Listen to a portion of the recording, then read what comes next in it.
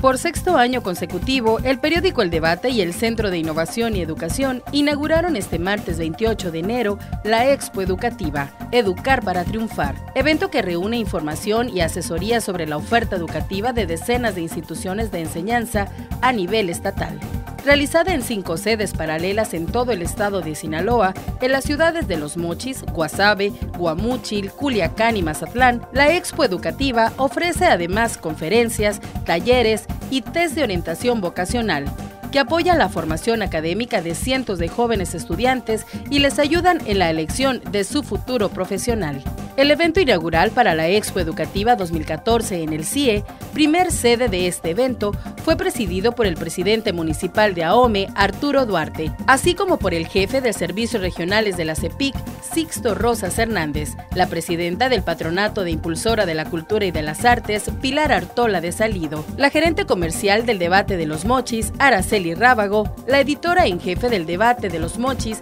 Cristina Muñoz, y la directora del CIE, Rosa Irma Peñuelas Castro. Asimismo, la Expo Educativa en Los Mochis ofreció alrededor de 70 conferencias y 180 talleres que beneficiaron a miles de jóvenes de toda la entidad, junto a varios tests de orientación vocacional y concursos de dibujo que motivaron en los niños el sentido de la responsabilidad social.